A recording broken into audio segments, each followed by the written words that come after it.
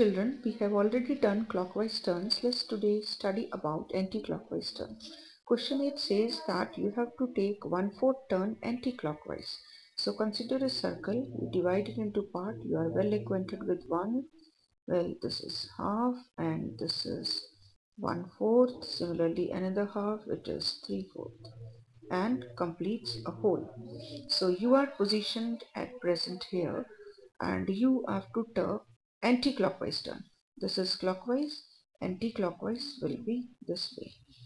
This will be anti-clockwise and this move will be clockwise move.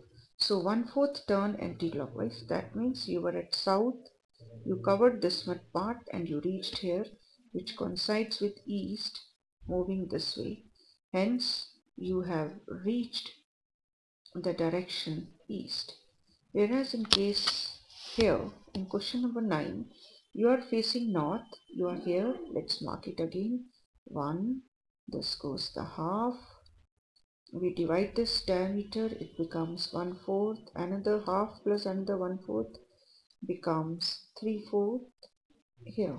So you are at north, you are here, and you take half turn anti-clockwise.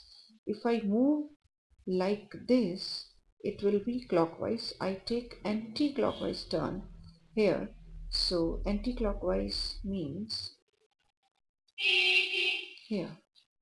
I am covering this much distance. So where do I reach?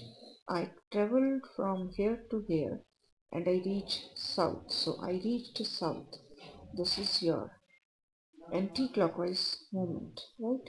So I reach south. That means we reach south direction. Happy working.